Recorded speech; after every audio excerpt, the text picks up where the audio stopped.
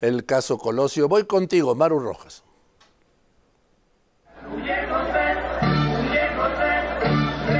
La cámara del único video que se conoce marcaba las 7 de la tarde con 12 minutos, miércoles 23 de marzo 1994. Plaza de Lomas Taurinas repleta, intransitable. Suben al candidato a la suburban en que viajaba. Los médicos asignados por el primer gobierno panista de la entidad logran llegar con sirena abierta detrás de la misma para brindar mejor atención. Y me doy cuenta que el candidato tenía más encefálica de fuera del cráneo.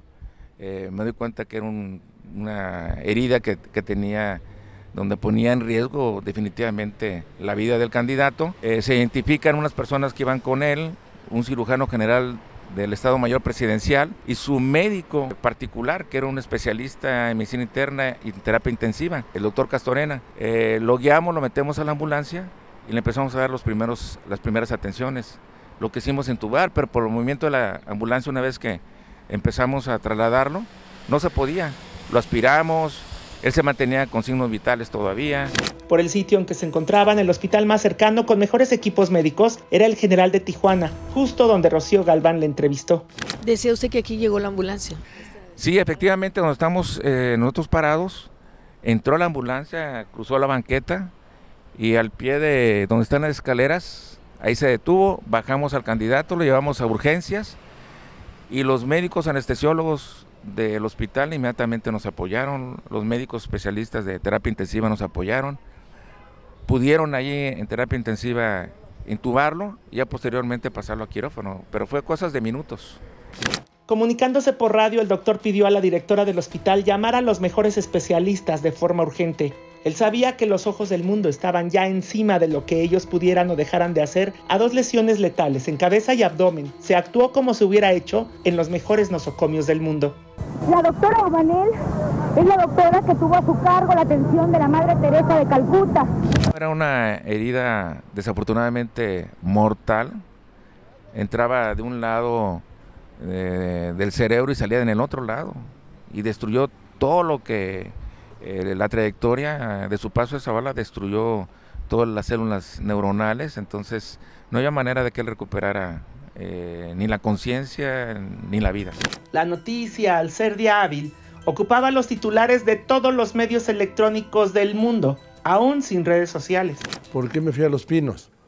Pues porque habían matado al candidato presidencial de Carlos Salinas, que era el presidente. Y para ese momento ya se había dado la conversación que narra, narra el mismo Domiro en el libro, en el que me acompañó Jorge Fernández. Y eh, ahí le llamó el general Domiro, que el general Domiro era el, jefe de seguridad, era, había sido y era todavía subjefe del Estado Mayor Presidencial y como siempre los subjefes del Estado Mayor Presidencial se convertían en los jefes de seguridad de los candidatos peristas. Narra Joaquín que todo cambió, incluso la forma de dar cobertura como periodistas a las campañas.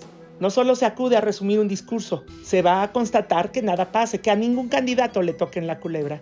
Hasta antes del asesinato de Colosio, el Estado Mayor Presidencial se usaba walkie-talkies, pero no usaba audífonos, ni micrófono de mano.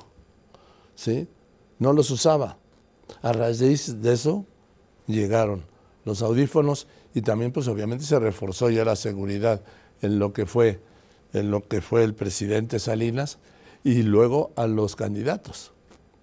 Sobre todo, me acuerdo también quien, el otro quien había sido jefe de seguridad, perdón, subsecretario también del Estado Mayor, subjefe del Estado Mayor, ¿sí? Se lo manda el presidente Salinas como jefe de seguridad de Ernesto Cedillo. Ah, ah, entra al quirófano. No, no puedo entrar, señor. ¿Por qué? Hay grandes medidas de seguridad.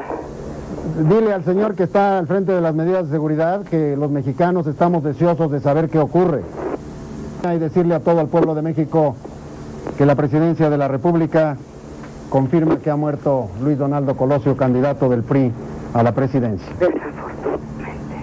Lo que nunca cambia es la esencia de las personas. En el hotel de Tijuana, Diana Laura recibe la noticia, toma del brazo a la periodista Norma Meraz y no deja de repetir, esto no debió pasar. Yo soy quien se tenía que ir primero. Cuando lo asesinan y cuando llegamos al hospital, Diana y yo, y le dan a ella el parte médico. No lo podía creer. Eh, sacó su rosario, porque siempre usaba un rosario, y, pidió con, con todas sus fuerzas que liberara ese, ese terrible paso su esposo. Después cuando muere y reza un rosario en el avión cuando veníamos a México con Luis Donaldo en un féretro en la panza del avión, ella ofrece ese rosario por aquellos que le quitaron la vida a su marido. Las balas del odio, del rencor y de la cobardía interrumpieron la vida de Luis Donaldo.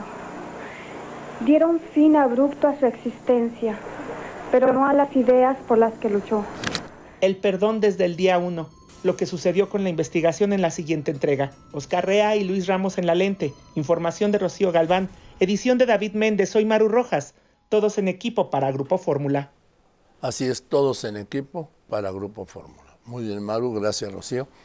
Eh, Juan Antonio Jiménez, hoy se iba a resolver un tema sobre la posible libertad de Mario Aburto, el asesino confeso hace 30 años de Luis Donaldo Colosio. El proyecto es de la ministra Margarita Ríos Farjat, pero tengo entendido que se pospuso, ¿no? ¿Tú qué tienes? Así es, Joaquín. Así es, Joaquín. Ha trascendido que, bueno, pues la primera sala de la Suprema Corte ha dejado en suspenso el futuro de Mario Aburto luego de que, previo a la sesión de este miércoles, se determinara aplazar la decisión sobre la revisión que la FGR interpuso sobre el responsable del homicidio de Luis Donaldo Colosio. En sesión privada es lo que se ha señalado. Los ministros tomaron esta decisión, aunque hasta el momento no se ha dado a conocer una nueva fecha. Todo esto, Joaquín, ha sido de manera, bueno, pues no de manera oficial. En estos momentos se está llevando a cabo ya la sesión de la primera sala de la Suprema Corte de Justicia y están viendo todos los asuntos conjuntos en donde en unos momentos más estamos esperando a que den a conocer ya de manera oficial todos los asuntos que está llevando a cabo la ministra Margarita Ríos Farjat, sobre todo el caso que en esta ocasión nos atañe es el, es el turno 3 con el número 9 y es el expediente 805 diagonal 2023. Vamos a esperar unos minutos más, Joaquín, para que ya lo podamos decir de manera oficial. Todavía hasta estos momentos toda esta información ha sido tan solo trascendidos, Joaquín. Gracias, gracias, Juan Antonio Jiménez. Mira, voy a subir a mis redes porque, jóvenes, ustedes no lo recuerdan, la mayoría no había nacido. Estamos hablando de hace 30 años. Los que tenían entonces 18 años, pues hoy con la novedad que tienen 48, 18, 48, hace 30 años. Eh, voy, a voy a subir a mis redes la reconstrucción que hace Mario Aburto del asesinato de Luis Donaldo Colosio. Ustedes verán esa reconstrucción. Él es un director de escena. Y luego me dirán si no fue el asesino de Colosio. ¿Le puede poner un poco de, volumen, de audio? Justo así, una persona por detrás. Ahí habla, me empuja, es María Burto el que habla. Podría empujarme levemente.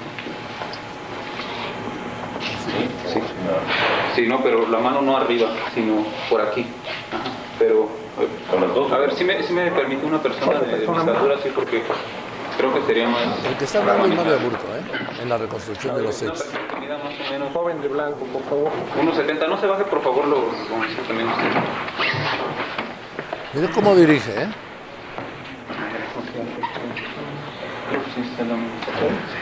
Escuchen. Este, ¿Puede venir, por favor?